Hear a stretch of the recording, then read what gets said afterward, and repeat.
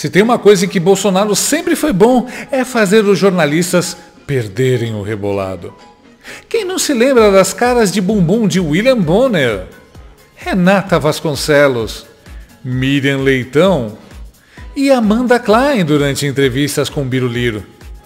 Parece que ele ensinou direitinho a sua técnica ao candidato à presidência do Senado, Rogério Marinho, que fez Andréia Sadi perder o rebolado ontem.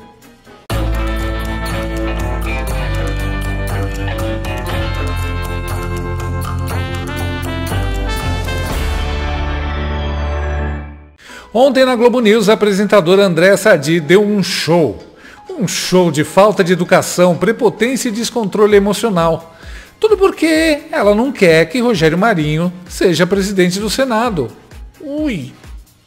Só para deixar bem claro, não tem censura prévia em relação ao que o senhor está dizendo. Ninguém está censurando. Nem eu estou dizendo que você está me censurando. O, eu estou falando, não, não, não, eu estou falando senhor, especificamente do STF. O que o senhor falou, um deputado ou um senador é censurado porque não sabe o que vai dizer. Não é disso que se trata. São parlamentares que divulgam ah, conteúdo sim, fraudulento. Desculpa, foi o que o senhor. Tá defendendo o STF. Foi o que, não, eu estou defendendo a democracia. O senhor está dizendo que existe uma censura prévia de algo que ninguém sabe o que vai ser dito. Não é sobre isso. Nós Essa estamos, afirmação que eu faço. Nós estamos falando de pessoas que divulgam conteúdo fraudulento, incitando violência, incitando é, golpismos e atos terroristas e por aí vai. É de, eu não posso crer que o senhor, como um democrata, como o senhor está dizendo que o senhor é, o senhor compactue com isso. André, é pra, só, só eu, eu comecei eu... afirmando aqui é que na hora que você começa a usar a democracia, para ferir a democracia, tem alguma coisa que está equivocada no processo. Mas o senhor acha Existem que... consentimentos comuns que são a lei. A lei é a garantia minha, sua e de qualquer cidadão Exatamente. de que nós vamos ter o que a gente chama de previsibilidade e segurança jurídica. É necessário mudar a lei? Tudo bem, vamos mudar a lei. Vamos mudar a lei pelo rito normal. Mas então, que se é apresente ao Congresso Nacional a mudança da lei, se instituindo, por exemplo, a censura prévia se instituindo, por exemplo, a negação de que você possa falar sobre determinado assunto. E aí, na hora em que o parlamento disser ok, então tem... aí você começa a executar. Mas hoje não existe. Mas o parlamentar não tem responsabilidade, então fala o que tem quiser. Tem responsabilidade. E deixa o nosso, lá. O nosso corolário, corolário de lei já fala sobre infâmia, injúria, difamação e o Conselho de Ética. Andréa Sadia é uma jornalista completa. Ela pergunta, ela responde, ela interrompe ela decide o que quer ouvir. E ela ainda consegue enfiar no meio disso tudo a palavra democracia para tentar legitimar o seu discurso canalha e mentiroso em defesa da censura. Uma entrevistadora assim nem precisa de entrevistado. Na verdade, eu nem sei se eu vou conseguir terminar esse vídeo que está falando sobre Andréa Sadi. Eu não duvido que a qualquer momento ela entre aqui, me interrompa e termine o vídeo por mim. Estou defendendo a democracia. Duh. Jornalistas e políticos de esquerda instrumentalizaram a palavra democracia e se esquecem que a nossa democracia é justamente a democracia representativa, que é feita através de nossos eleitos, não de magistrados com senha reformista.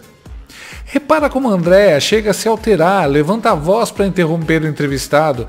Ela está emocionalmente envolvida e descontrolada. Chama atenção também a prepotência.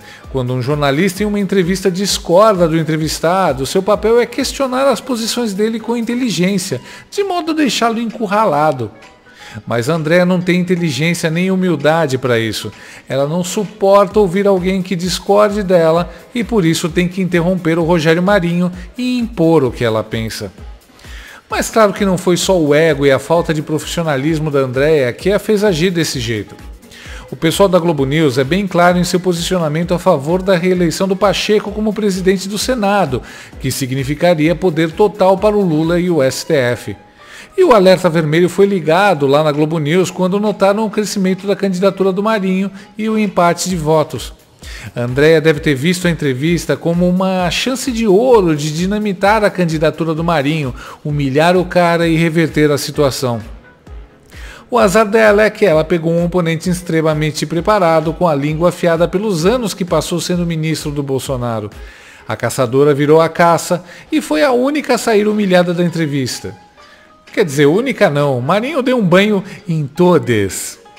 Com uma vantagem, Marinho foi até educado com André e Evaldo.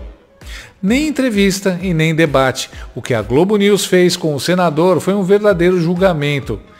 Não ficaria admirado se eles ligassem ao vivo para o Xandão pedindo a prisão do Rogério Marinho. Parabéns, senador, não só pela paciência com essa galera mal educada, mas pela inteligência com que colocou um por um em seu devido lugar. Bolsonaro deve ter ficado orgulhoso.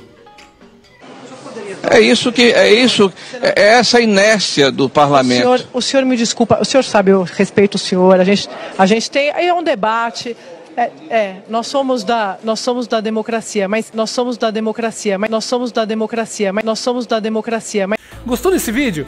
Então inscreva-se no canal, comente, curta e compartilhe com seus amigos. Não gostou? Compartilhe com seus inimigos. Até o próximo vídeo, se o mundo não acabar antes. Por hoje é só.